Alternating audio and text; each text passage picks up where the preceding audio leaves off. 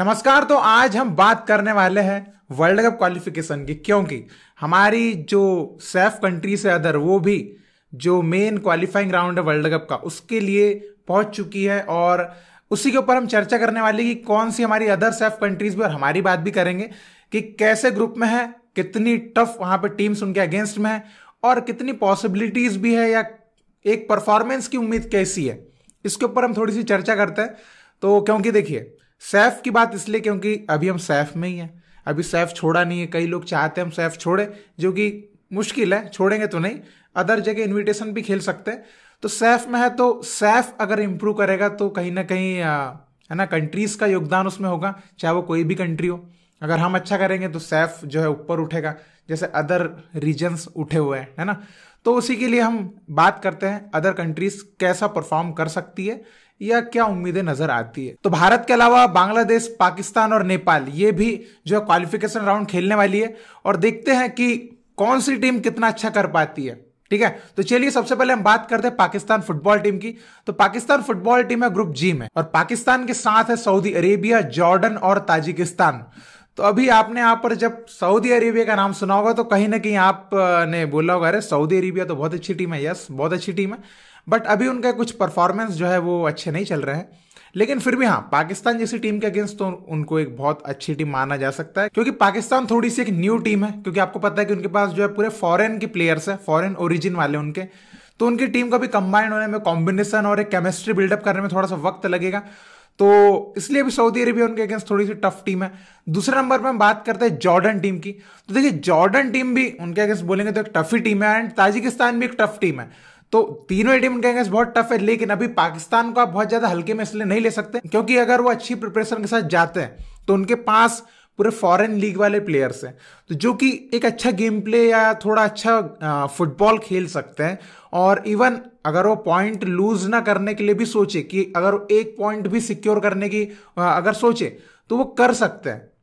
तो इसलिए पाकिस्तान से भी उम्मीदें कर सकते हैं, उनके फैंस जो भी है कि एटलीस्ट कुछ पॉजिटिव उनको है ना इस वर्ल्ड कप क्वालिफिकेशन राउंड से देखने को मिल सकता है।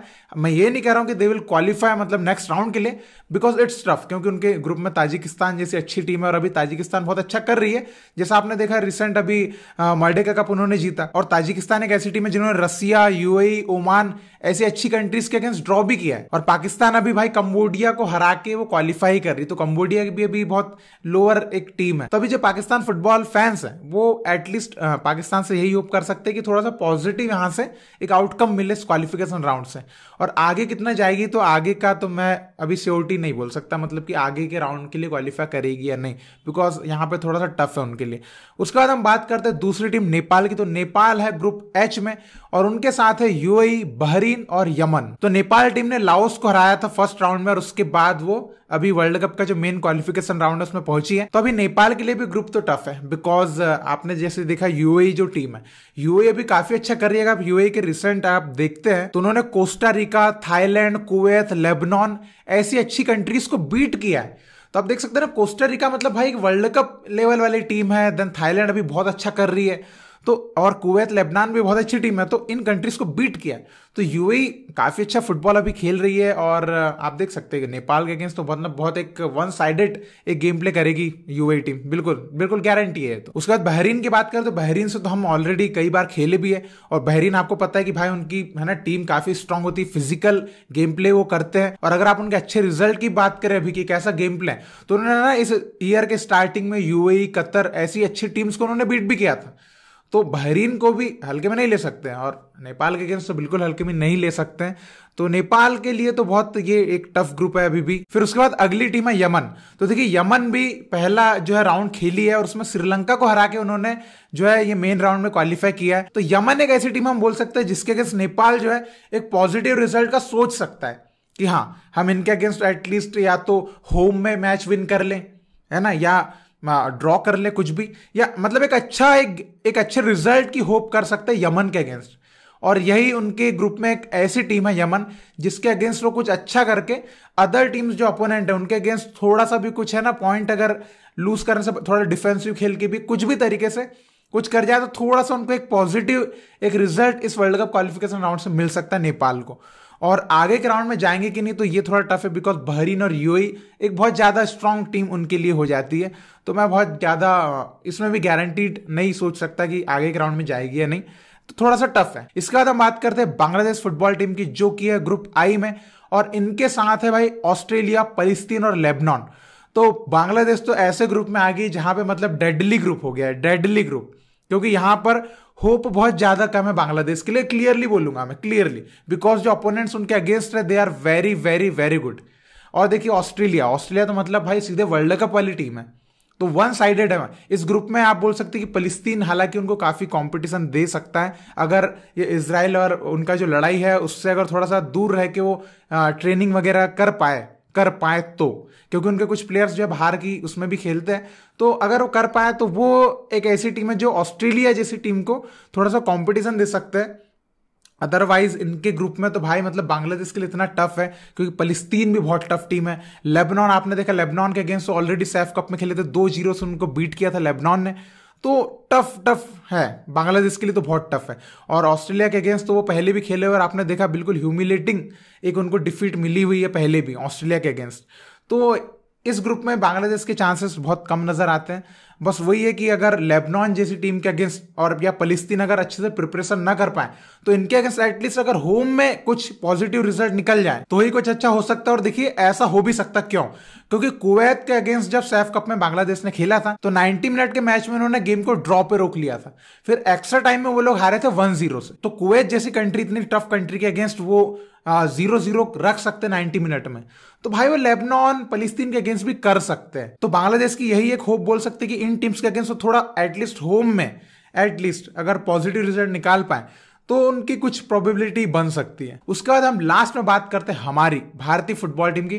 तो हम है ग्रुप ए में, और हमारे साथ आपको पता ही, हमारे साथ है कतर, कुवैत और अफ़गानिस्तान। तो देखिए, हमारे ग्रुप की अगर आप बात करें तो इंडिया ने कतर के अगेंस्ट भी पहले खेला हुआ है, कुवैत के अगेंस्ट भी खेला हुआ है, अफ़गानिस्तान के अगेंस्ट भी खेला हुआ है। तो सबसे अच्छी बात यह कि हमने तीनों कंट्रीज़ के अगेंस्ट खेला हुआ है।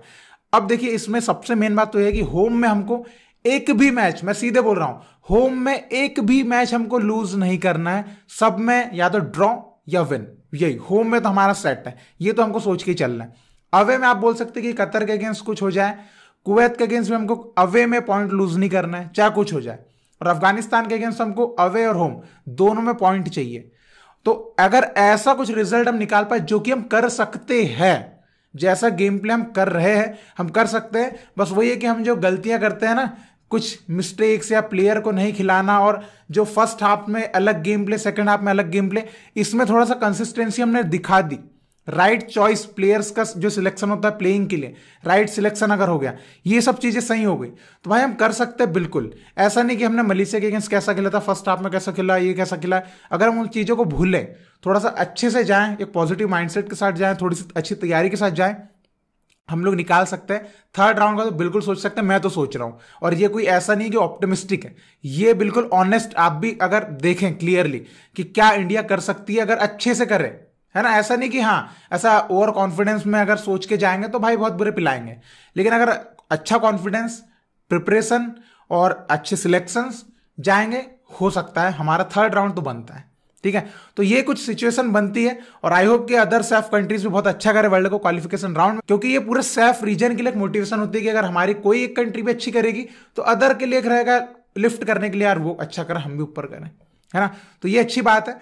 तो आप क्या समझते हैं? आप किस कंट्री से है? अगर अगर दूसरी सेफ़ कंट्री से अगर आप होंगे, देख रहे होंगे वीडियो तो आपकी कंट्री के लिए आपका क्या थॉट चल रहा है? आप वो कमेंट में लिख के बताइएगा। भारतीय फुटबॉल फ़ैन है तो आप हमारी कंट्री जो है, इसके हिसाब से बताइए कि आपकी क्या सोच है। कि कहाँ तक हम जा सकते हैं, क्या कर सकते हैं। तो जो भी आपको लगता है, आप ज़रूर कमेंट में लिख के बताइएगा। और इसी तरह भारतीय फुटबॉल को सपोर्ट करते रहिए। बहुत बहुत शुक्रिया वीडियो देखने के लिए। जय हिंद, जय भारत।